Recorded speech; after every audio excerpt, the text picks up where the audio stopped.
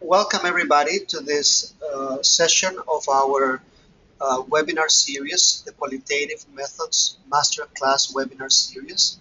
I am Ricardo Contreras uh, with ATLAS.ti, and I'm here with uh, Mona Pattison uh, uh, from IIQM, International Institute for Qualitative Methodology.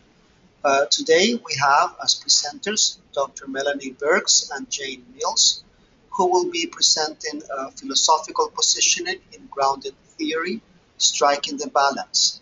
Um, uh, a few things about GoToWebinar. Uh, your microphones will remain muted um, uh, until the very end.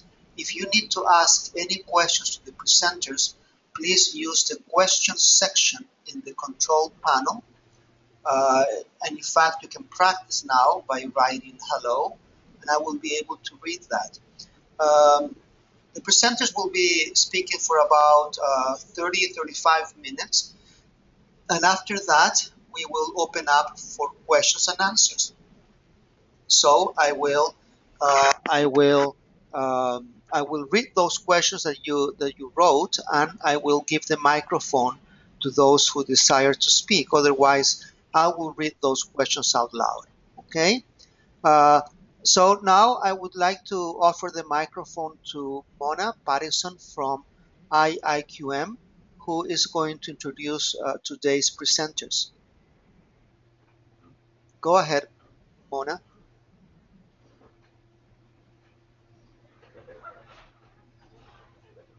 Yes, Mona, go ahead. It's open now. Oh, great. Thanks, Ricardo. I hope everybody can hear me now. Great, excellent. Yeah. So thank you very much for joining us today. Um, I'm here um, because Yvette is in a conference in Toronto. Um, so I'm very happy to be on the call and to introduce our um, two speakers today, Melanie and Jane. So Professor Melanie Birks um, is employed as a professor of nursing at James Cook University in Australia, a role that serves her passions for education, research, and nursing. Her primary focus is on the promotion of scholarship in teaching and learning uh, through mentorship and fostering a college culture of research. She has extensive experience in international education, having taught in Hong Kong, Singapore, Papua New Guinea, and Malaysia. Her research interests are in the areas of accessibility, innovation, relevance, and quality in health professional education, to ensure preparation of graduates who are industry ready and able to make a contribution to their chosen profession. Her commitment to research is reflected in her publication history, which includes numerous journal, journal articles and book chapters. Most recently, she co-authored a second edition of the highly successful Grounded Theory, a Practical Guide, with Dr. Jane Mills. And Jane is a professor of nursing, director of the Center of Nursing and Midwifery Research, and deputy, de deputy dean of the Graduate Research School, also at James Cook University in Australia. In this role, Jane works closely with students and academic staff to build research and research education with the intent of creating a brighter future for life in the tropics worldwide through graduates and discoveries that make a difference. Jane's research is in the area of primary health care, health workforce development, health system strengthening, and teaching and learning using both grounded theory and mixed methods. Jane has published extensively in the area of qualitative methodology, with her work on grounded theory particularly well received. She has been writing with Melanie Birks for nearly 10 years, and together they have produced a number of important peer-reviewed articles and books that have guided students in their work, in their own work. So welcome to Melanie and Jane.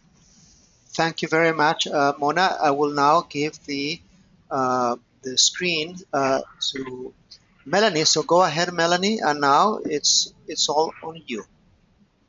Wonderful. Thank you, uh, Ricardo, and thank you, Mona, and good morning to everyone from sunny North Queensland. And uh, Jane and I are delighted to be here today, uh, although it's, it's 7 a.m. here, um, and we're both very, very pleased that we don't have webcams on because I'm not sure we're looking our absolute best this morning. Um, but we're very pleased, as I say, to be here to talk to you about one of our passions, which is grounded theory research, and in particular, the philosophical positioning of a researcher in grounded theory research. The reason that we've called this presentation Striking the Balance is because in grounded theory it's necessary to actually strike that balance between how you bring yourself into the research as the researcher without imposing preconceptions or assumptions into that process. So specifically what we're going to be talking about today uh, is uh, the significance of positioning the researcher in grounded theory research and also the relationship between the position of the researcher and theoretical sensitivity. A lot of people actually struggle with the concept of theoretical sensitivity in grounded theory, and so we're going to try and demystify that a little bit and talk about some strategies and techniques that the researcher can use to raise their theoretical sensitivity. Got to start off, of course, with some shameless self-promotion. And Mona did mention the work that Jane and I have done for, I think it's probably more than 10 years, Jane, now that we've been together working. Probably um, is. it seems that long. It seems like a that. but um, uh, the uh, the first textbook um, in, in research, uh, we actually did write an undergraduate textbook in research some years ago, but um, uh, the first major piece of work that we did together was the grounded theory textbook, um, which is now in its second edition, and also its sister text, uh, Qualitative Methodology, a practical guide. So um, they're very inexpensive to purchase, so uh, we encourage you to do that because we do, what we aim to do with our work is to, as I say, demystify um, some of the often complex concepts around research, particularly in qualitative research and grounded theory specifically. Um, okay, so let's start off with exploring some preliminary concepts. And many of you will probably be grounded theorists undertaking grounded theory research, and some of you may not be.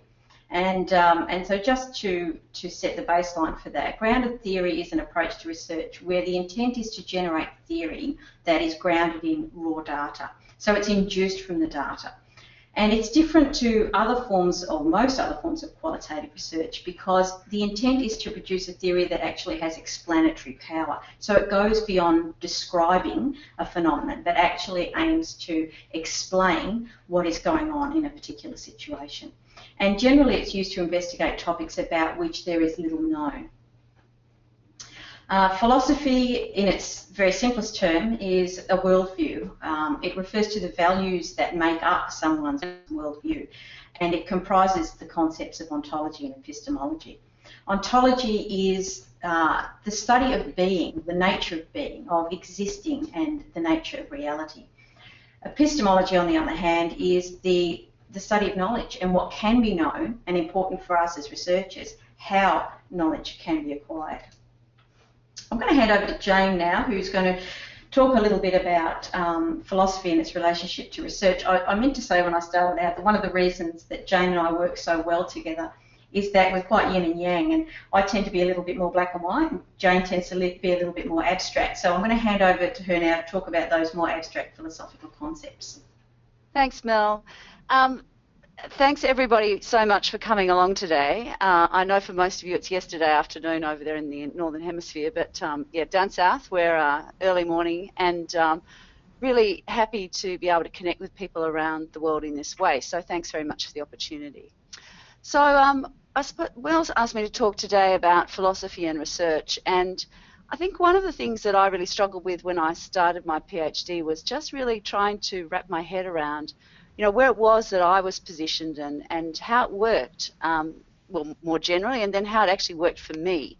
And um, there were lots of different things that I read. In fact, I had a pretty legendary uh, advisor when I was doing my PhD, a grounded theorist called Anne Bonner, and Anne actually, much to Melanie's horror, made me go away and read all of the grounded theory texts from Woe to Go. And um, as a result, I also discovered some of Marilyn Annells' work. And for those of you who are grounded theorists, you've probably also read some of Marilyn's uh, work. Melanie and I were both fortunate enough to have Marilyn Annells' examine our theses. And she was really one of the early people to talk about uh, the need, I think, to position yourself. So the need to really think through, uh, you know, what philosophical position were you taking in your research design? Because, in fact, that you know that philosophical position, as Mel will talk about later, really shapes uh, what it is that you actually do in the field, uh, and of course back at your desk when you're analysing your data. So the slide you've got there in front of you at the moment really draws on the work of um, Guba and Lincoln. And again, for all my students, I get them to read this particular chapter in the Handbook of Qualitative Research, which talks about uh, paradigmatic controversies and developments. And uh, I have to say, the latest chapter of that uh, in the pink in the pink handbook, as we call it, that's the dark pink handbook, not the pale pink first edition handbook, um, is has even got a lot simpler a lot easier to understand. And those authors really go through these sorts of concepts of positivism, post-positivism, postmodernism, and constructivism in some depth, and really provide, I think, uh, lots of cues for people who are quite new to philosophy to use in their thinking about how you actually understand what all of these different philosophical positions mean. So you can see up there that really, uh, on the slide, that really what we're talking about in relation to philosophy is this whole question about reality and what it is that we perceive to be uh, real. Mel, are you in charge of this PowerPoint? You must be, I think, are you not? I am. Sorry. Um, you just, I'm no? so in, through what you're saying. As in, she's nodded off everybody. She's no, snoozing no, there in the corner. no snoring. Not like that, Dave. Okay, so um, what we really challenge you to do uh, as grounded theorists early in the piece, and, and I speak at the moment, I, I don't know, it's sort of funny, writing the, the books, I mean, the grounded theory books were really written because at the time when we wrote the first book, we were new new advisors ourselves, and so we were trying to, I suppose, find a way to communicate to our own PhD candidates about some of the sort of basic elements of grounded theory that they really needed to get a grasp on before they can go forth and actually really explore in much more depth some of the work, of course, that's come before us that, that um, you know we ourselves draw upon in our own work, our own research. And um, chapter one of the textbook really, uh, you know, gives you, I suppose, some good guidance around where to go to read more. And uh, Mel likes to um, refer to our book as sometimes the Dummy's Guide, we call it, don't we, Mel? But I mean, I think it's an introductory foundational text that you can start with. Uh, and we actually we send you off to go and look at all of the other authors uh, that have written, such as, of course, Strauss and Corbin and uh, Glaser and also Charmaz and uh, and Adele Corbin's, uh, sorry, Adele Clarke's work, of which I'm particularly uh, fond. And Mel and I are really quite different, and you probably, if you get to know us a little bit, will be able to spot which chapters we write. But chapter one's mine, and um, although I must say in the sister text, Qualitative Methodologies, I challenged Melanie to go and write the philosophical uh, chapter. And um, what is it you call that one, Mel? Practical philosophy, isn't it? Yeah, practical right. philosophy is the non-philosopher, really. That's the black and white girl coming out, but that's all right. That's pretty handy for some people. Um, so really, we challenge you to think about your philosophical position and what it is that counts to be real and true, and what it is uh, that you think is going on in the world around you, and in particular about this idea of whether or not there is a single truth that can be uncovered, or whether in fact there are multiple truths that we all need to understand in different ways and accept. So what's the big deal about all of this? You know, why is that important? Why does it matter? Well, it really matters uh, because there really has to be congruence between your own philosophical position, the research question that you've posed, the chosen methodology that you've, you've used, and also the grounded theory methods that you employ. And um, you know, the, really the methodology that you choose, so whether or not you decide that you're going to position yourself in a constructivist paradigm, whether you're going to actually say, well, really my work more closely aligns with um, a postmodernist view of symbolic interactionism and Clarke, or whether I'm much more comfortable in, uh, you know, the work with the work of Barney Glaser, which I would argue is uh, quite strongly post-positivist that really then influences the way that you go out and actually um, undertake your research. So making decisions around who you recruit, how you recruit, uh, where it is that you know you're going to go next uh, in relation to theoretical sampling. So the slide you've got up on the screen at the moment, I suppose, really sums this up in a rather simple way, but a very nice illustrative way, and I thank Mel for designing this slide.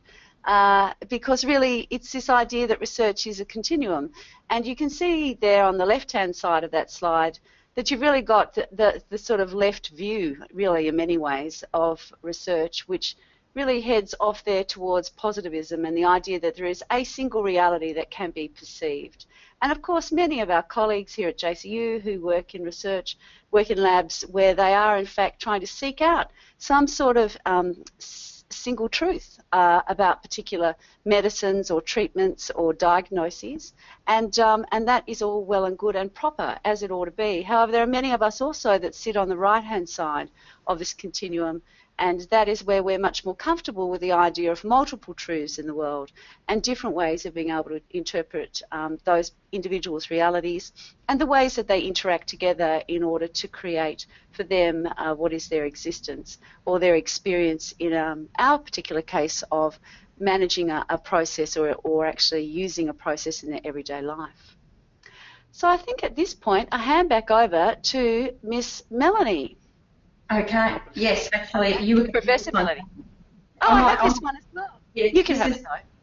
Okay, all right. This is a fabulous uh, activity from the text where we actually encourage the reader to um, start to think about how they actually define reality and how they see the world and how knowledge can be gained of the world.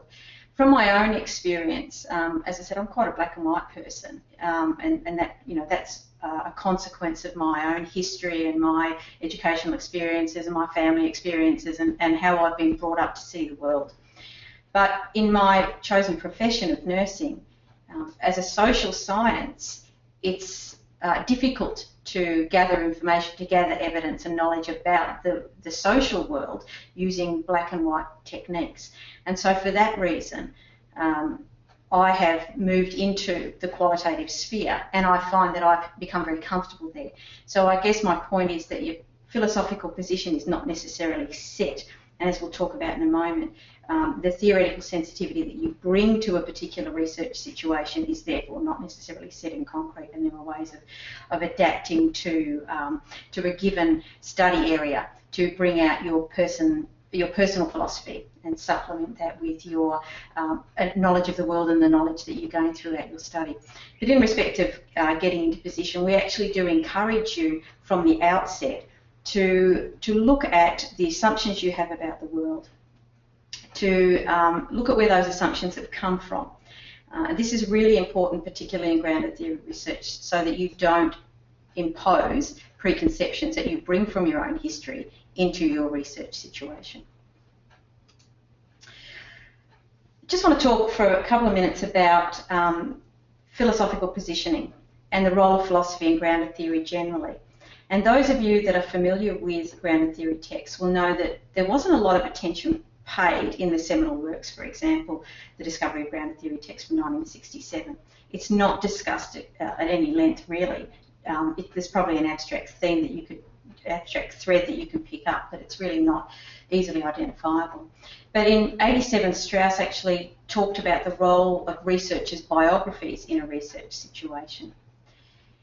It was in 2008 that Strauss and Corbin acknowledged the position of the researcher in the co-construction of the research product. And um, those of you that have seen Jane's very well cited work on uh, discerning a constructivist thread in the work of Strauss and Corbin will have an understanding of uh, what that looks like. In 2005, Clarke said, we need to become more visible and accountable for, in, and through our research. So there we're starting to see even more reference to the role that the researcher has in uh, a research study, particularly grounded theory. Uh, and Charmaz is probably the one that, and is a very popular author in grounded theory because I think she actually brings us back to the reality that the researcher is an instrument in, um, in a research study, is a subjective instrument of data collection. And, and to be effective in that in grounded theory, you need to recognise the influence that these taken for granted assumptions have on our research. So the ideas that we have the, the history that we bring, the experience that we bring, the educational knowledge or the educational products from our own experiences that we bring to a situation will impact on a research study. And the way that they um, actually influence a research study are in respect of the relationship that um, the researcher has with the data. So where you position yourself will absolutely determine that relationship. And positioning also influences the researcher's theoretical sensitivity. And as we've discussed, is, uh, theoretical sensitivity is a very important element of ground theory research. This diagram actually represents the relationship that a researcher has with the data depending on where they position themselves.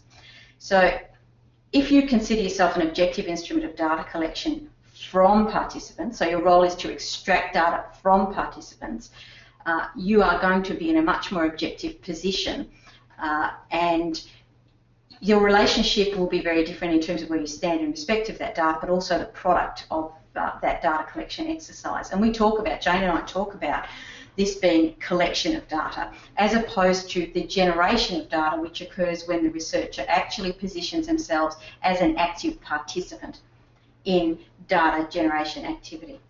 So in order to ensure that your study design is methodologically congruent, you need to be very, very conscious of your philosophical position.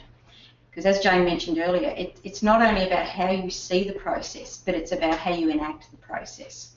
Whether or not you're going to be an objective researcher who undertakes an interview using a highly structured interview guide, or a, um, a more constructivist researcher who starts off with one broad question and then follows the leads in the data and works with the participant to construct um, the product of that interview uh, is going to depend very much on your philosophical position.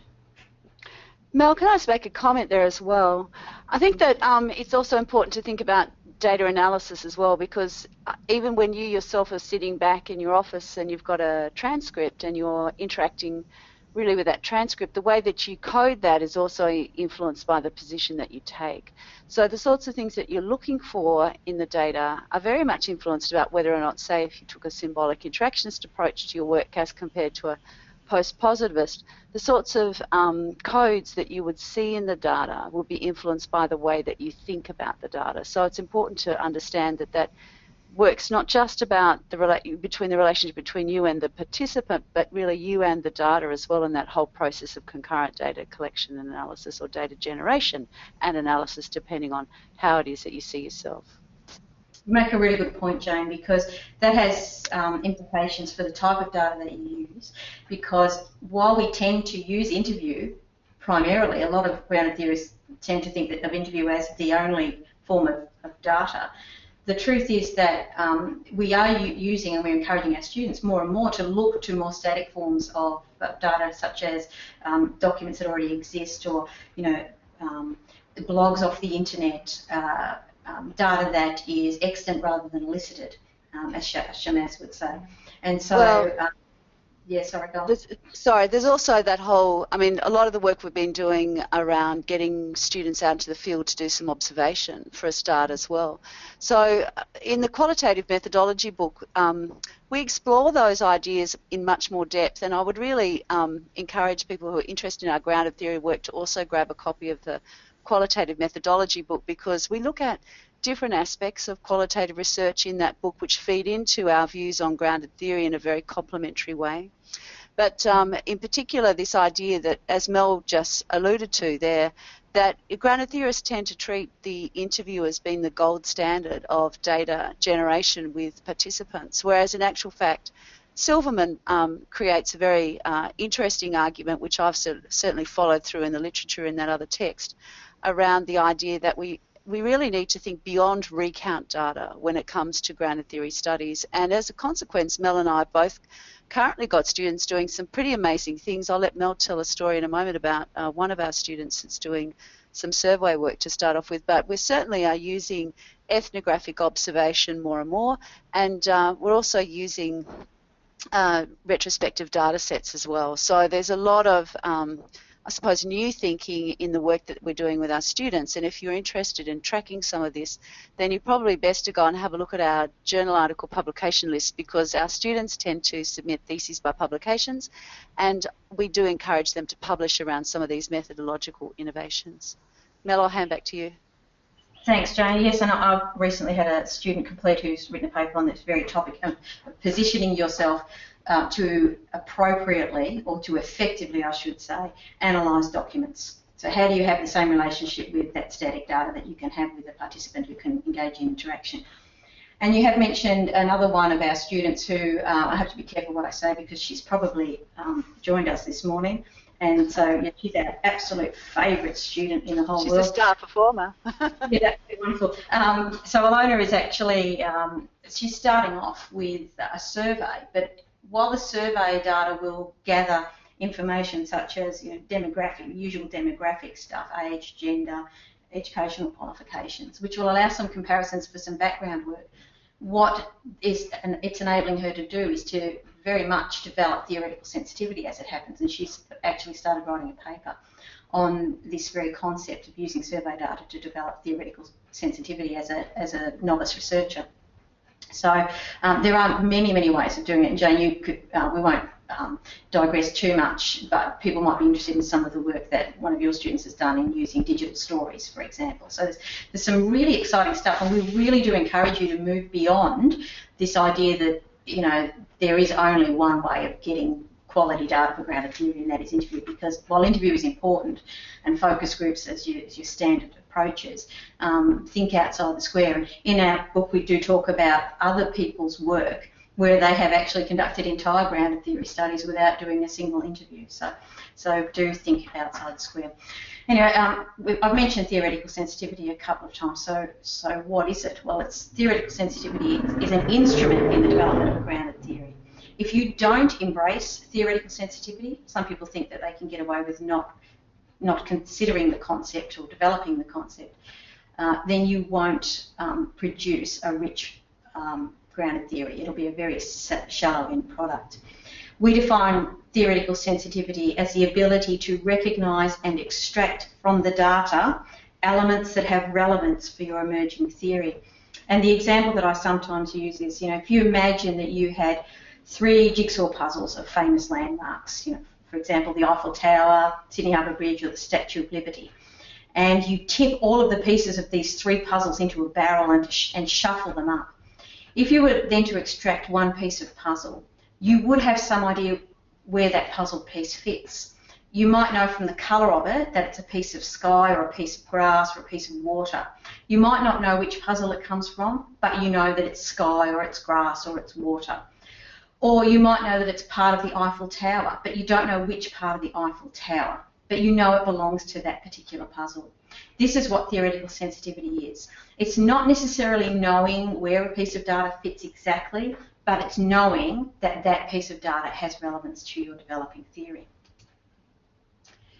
So some characteristics of theoretical sensitivity. I've alluded to this before, that it reflects the sum of your personal, professional and experiential history. It can be enhanced by various techniques and tools and strategies, which I'll talk about in a moment. And something that you will be aware of is that your theoretical sensitivity increases as your research progresses. So Jane and I often have students who they look completely lost and they don't know what they're doing, um, or they think they don't know what they're doing. But you know, you see over the course of a number of months that this their confidence develops, and the reason their confidence develops is because they're developing this theoretical sensitivity.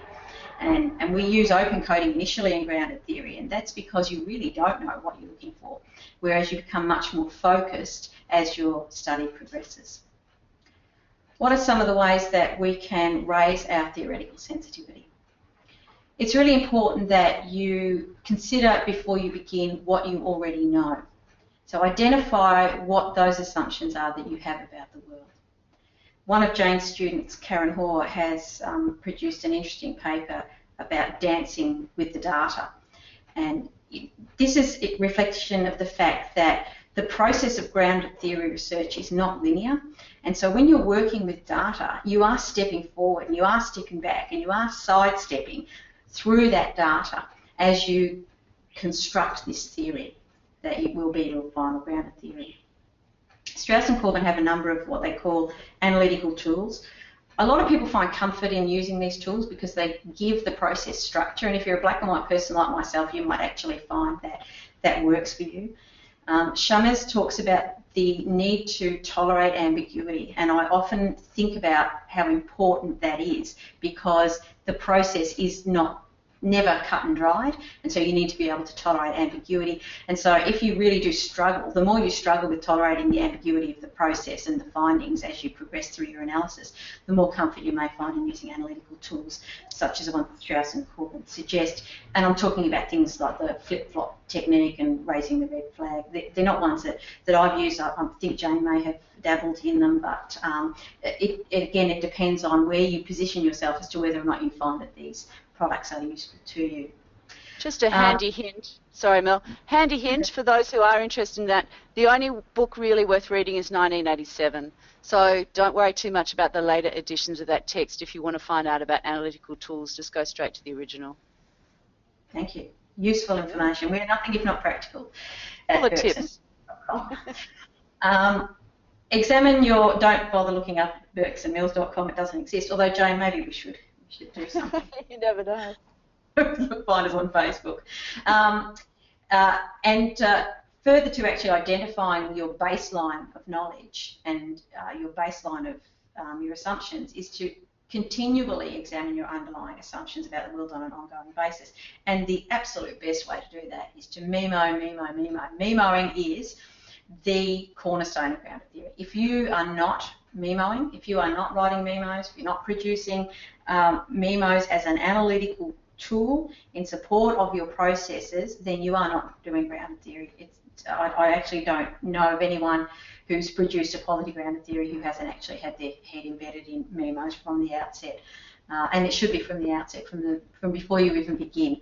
Um, thinking about your study. This is where you start thinking about your research, and it's where you, I was memoing well after my um, research was complete. You know, it's as a type of debriefing strategy, strategy, I suppose. And you know, we've written about it in the book, and um, we also have a paper out about um, the process of memoing. Uh, can I just make a comment there? Because that's Melanie's good stuff. Melanie's the queen of memoing. She's written some wonderful papers on it. But the other thing you can do is go onto YouTube and, and search for Melanie, and you'll find there's a very nice YouTube interview that Mel did uh, for me on memoing, which I was very grateful for. I was giving a lecture, and, and Mel was working at a different university at that time, and so recorded something for me to insert into a PowerPoint. And that thing's gone, well, viral for Grounded Theory Land. There's been a lot of people viewed it. So if you're interested in finding out more, go and listen to Melanie talking about memoing. Yes, I need to invest some time in digitally Botoxing that.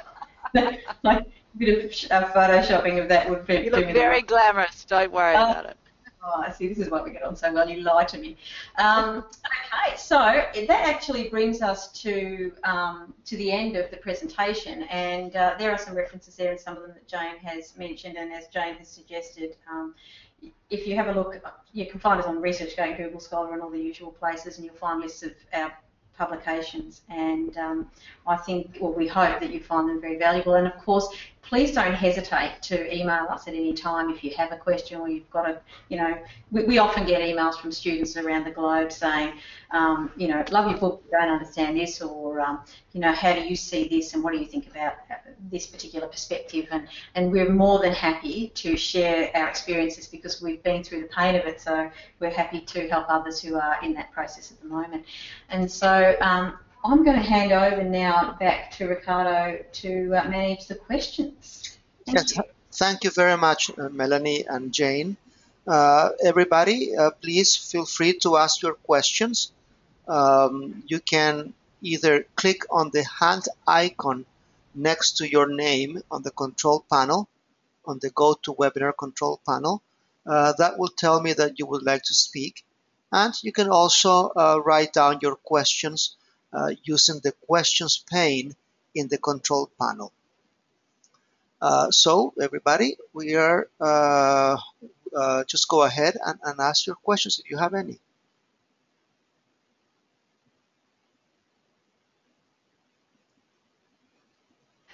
We've dumbfounded them all, Melanie. Come yeah. on, people, there must be one question. That's right. very shy. Now, if we can get up at um, some ungodly hour on a Friday morning and uh, put on an extra layer of makeup. Uh, mm. Don't be shy. Don't be shy we um, no, uh, the, the, the audience is, is very uh, shy today, uh, so we don't have any questions yet. Let's see. Anybody? Usually it just takes one person to uh, start, start the process. That's right. And then we have a flood of them. Yes, that is what usually happens. So let's let's let's uh, give people a few minutes to think about what they would like to ask. Would you like to add anything else, Jane and Melanie, while people think about their questions? In fact, I got the first one, and this oh. this will start. Uh, Karen, I will give you the microphone, Karen, so that you can ask the question on your own. So let me uh, unmute your microphone now. Karen, can you speak? Okay. Hi, can you hear me? Yes. Yes, we can indeed. Okay. Um, thanks, Mel and Jane. I'm sitting here in my lounge room in Palm Cove, just up the road from you. Um, in your jammies? I've got my lippy Yeah, I have actually. I'm sitting here in my pajamas, uh, having my breakfast. So thanks for the class. Um, I just thought I'd just start by asking about memos. Um, I've just had my confirmation seminar, so I'm very, very new to this PhD game. And I've never been one to keep a diary when I was when I was growing up as a teenager or anything like that. So how do you actually get started doing the memos? I mean, I've made lots of little notes and you know sat down and thought about what I'm going to do with focus groups and organising and interviews. I mean, is that the type of thing that would be considered a memo, or does it have to be more profound? I'm, I'm sure you're going to hand this one to me, Jane. I'm not even saying a word. I'm just waiting for you to respond. Karen, first of all, congratulations on your confirmation, which I'm assuming was successful. So that, that's an excellent milestone. Um, not meaning to flog the book, but you can get it from the library. But if you have a look at um, the Appendix A, it talks about my journey in, in, the same, exactly the same situation you described as being a novice and you know finding finding my feet. But I, I'm exactly the same. I felt really uncomfortable. What I started to do was to keep a journal in the first instance because I thought I'm going to write a paper on the experience of doing a PhD. I thought someone will publish this, so I'll keep a journal. and um, and so I and because I'm no good at it, I, would start off by saying met with supervisors today. It was good. doing doing uh, literature search tomorrow, and it was really stilted like that. But as time went on, it started to become reflective, and I'd, I'd write things like, just had meeting with my supervisors. Oh, they're so frustrating. They tell me one thing and then they tell me another thing. And I should point out I had absolutely brilliant supervisors, but at that stage I obviously didn't know what I was doing. Um, so it actually, and what happened was I kind of evolved, and I I started to then I tried to write memos which were very stilted, the same. It was it was difficult to put stuff on paper, but over time I, you know, they became extremely long and and passionate, and they'd have diagrams and and um, I think it's Charmaz who says it doesn't matter how you do it as long as you do it. And so whatever's working for you at the moment, keep doing it. And and I actually, as I, I'm, I was going to say not a traditionalist in terms of memos, but I don't even know what a traditionalist might look like.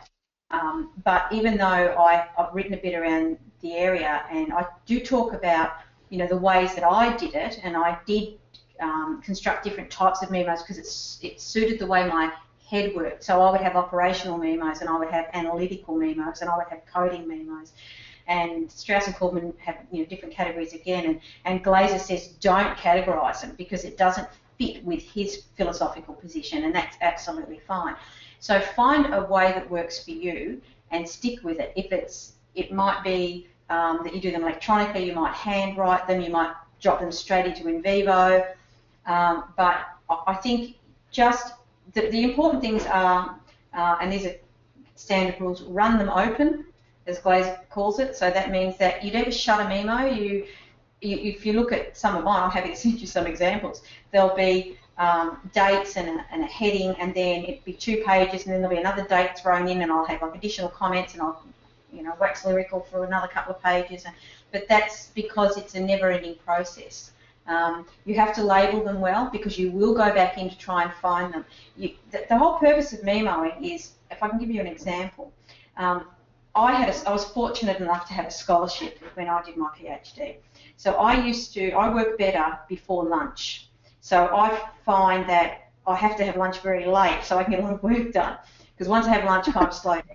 And I used to have lunch with Oprah every day at two o'clock, and I would. Um, uh, so I'd work really hard, and then I'd I'd, uh, I'd be hungry at two o'clock, and I'd go and sit down and have lunch with Oprah. When I went back downstairs at three o'clock, um, I would look at a decision I'd made, um, an analytical decision, and I couldn't remember why I'd done that, and it didn't make any logical sense to me. And so I'd have to start the whole process again, and I'd end up in the same spot. Once I got into memoing, I, I would record those decisions, and it saves so much time because you're not second guessing yourself, you're not replicating processes. Because I could just read and say, oh, now I remember why I did that. Because when I looked, when I did the constant comparison of this piece of data with that bit of data, I actually realised that what I was looking at was this phenomenon. So I hope that makes sense to you, and I've actually gone off on a bit of a tangent, but um, I'm more than happy if you want to flick me an email if you want to um, discuss that further. The other uh, thing great. with Yep, go. It, it's sort of what I've been doing, but it, like you said, it didn't. It doesn't feel natural. It's not something that comes naturally to me. So, and I'm, i know another person that we know uh, writes poetry and is, is very sort of deep thinking, and that's on paper, sort of putting things down on paper. But that's not me. So I've struggled with it a little bit up to this, this stage, but um, that's good. Dot points might work for you. I started off doing dot points in memory. Yeah, yeah. Yeah, And I'll you just don't- I'll you know- play around with it. It is. Yeah. Think of it. The other way to think of it also is about developing an audit trail about decision making, just like Mel said, because you know we, you yeah. know, there's some lovely work on audit trails that you really need to have a look at. But uh, the way to manage them, I'm the practical girl today. The way to manage them well, um, my students find, is using Evernote. So, uh, so you use Evernote to write memos. So that's it. Basically, turns into what Clarke um, refers to very lovingly, which I really like, as intellectual capital in the bank. It's a great quote, that one. But you can um, tag notes in Evernote, uh, which means that you can sort and you know you can put a tag on there that might say um, I don't know, constant comparison or you know even a transcript uh, marker, so you know where you were you were in relation to analysing a particular transcript when you wrote that memo. So Evernote is the go.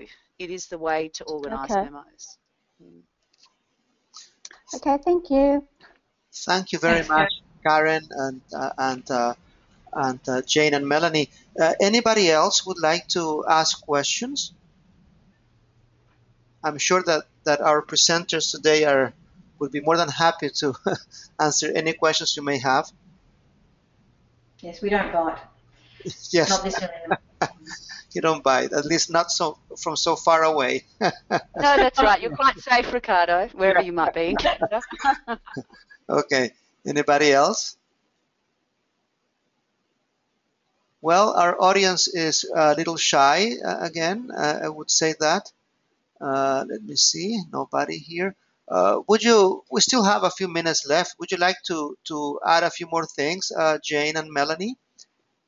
I'd just like to say that um, we're actually planning on going to next year's uh, qualitative research conference in Glasgow. I think Mona will be able to tell us where it is. I'm pretty sure it's in Glasgow in Scotland, isn't it, Mona?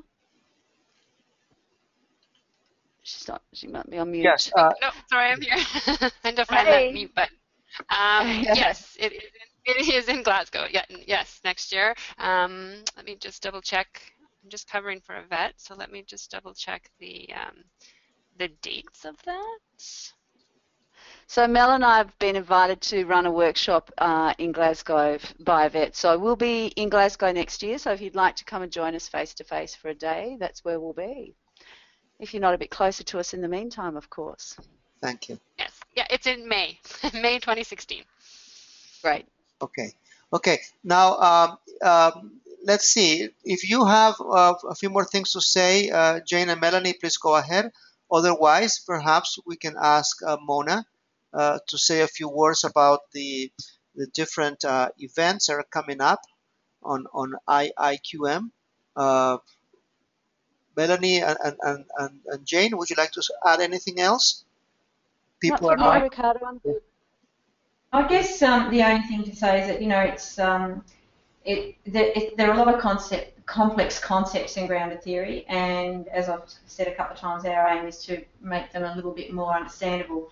And um, but don't be put off if you find that you struggle with things like, uh, you know, theoretical sensitivity is the big one. Theoretical sampling is something that uh, um, people interpret in different ways as well. Um, but it's certainly worth the time investing in you know, reading, as Jane has suggested, our text is a good starting point. There are some really good um, uh, books that are available. There's a lot of articles that you can obtain through a simple search of Google Scholar uh, that will help you to understand the finer points of, um, of the more complex elements of grounded theory. So if you are a, a budding grounded theorist, um, please don't be put off. There are um, obviously uh, some complexities inherent, but that can be said of any approach to research, particularly qualitative methodologies. And, and don't consider yourself to be uh, a person who's not suited to qualitative research because I initially thought that that was the case for me, but um, and he, but here we are today. So I'll uh, I'll hand back now to Ricardo and, and thank you everyone for attending. Thank you very yes, much. Thanks everybody. It was great. Thank you very much, Jane. Uh, now let me let me ask Mona to say a few uh, words about the different IIQM events. Mona. Excellent, thank you, and thank you very much to uh, Melanie and Jane for presenting today. It was an excellent presentation. Um, so yes, IIQM, we've got another um, webinar coming up on November 5th, um, and jo John Oliffe will be speaking on doing gender and health research. Um, and then in addition to the Glasgow conference that, that was mentioned, that's in May, um, there's also TQ2U, which is in Australia, uh, in February of 2016. So thank you very much to everyone who participated today. Thank you, Mona. Now, the, uh, the PowerPoint as well as the recording of this presentation uh, will be available on the IIQM website. Um, so uh, I don't know if you already have the PowerPoint, uh, uh, Mona? No, I, I, must. I will send that to you, Maya. I'll send that to you this morning.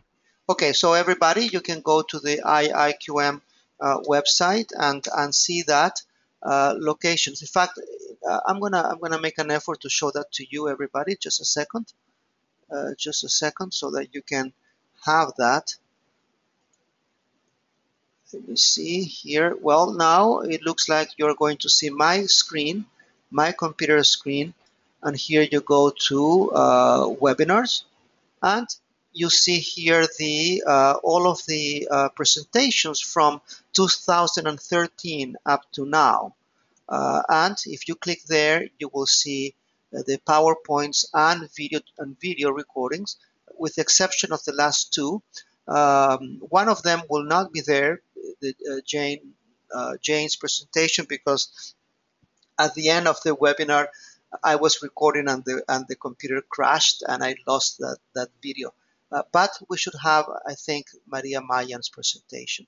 So here you can see the calendar of activities and we are preparing the calendar for 2016 and we hope that you join us. Your your uh, participation is essential for the success of this activity. Thank you, all of you. Goodbye. Thanks, Ricardo. Bye-bye. Bye-bye. Thank you. Bye-bye.